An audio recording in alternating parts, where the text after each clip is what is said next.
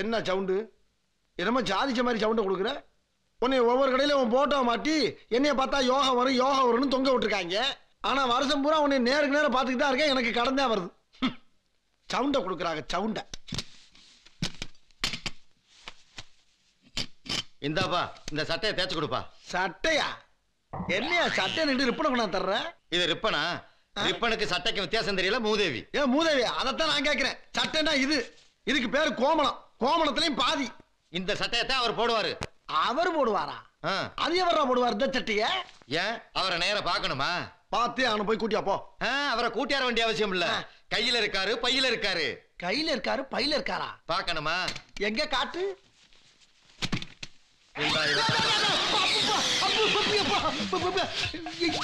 என்னையா பாம்பை கொண்டாந்துருக்க? இப்ப சௌரியம் எப்படி? சட்டையை தேய்க்க முடியுமா? முடியாதா?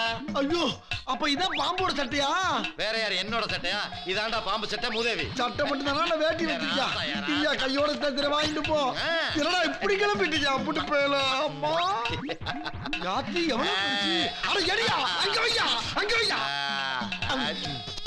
சீக்கிரம் முடி பஜாருக்கு போனேன் ஐயோ சட்டை பொட்டி போச்சியா? என்னது என் பிள்ளையோட சட்டை கருகி போச்சா? அட பாவி அதுக்கு இருந்ததே ஒரு சட்டை அதுக்கு இனிமே சட்டையே உரியாதடா என்னடா செய்ய போறேன் விடியா தெரியாம நடந்து போச்சு. மன்னிச்சு விட்டுறியா? என்னடா தெரியாம நடந்து போச்சு? ஒரு ஐயாயிரம் ரூபா குடுறா. என் பிள்ளைக்கு சட்டையை தைச்சு போட்டுறேன். ஐயாயிரமா?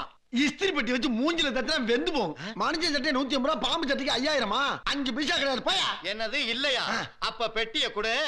என் பிள்ளை விட்டு சட்டையை கொண்டாந்து கொடுத்துட்டு உன் பெட்டியை வாங்கிக்க? வந்தாங்கன்னா பாம்ப மூக்கு?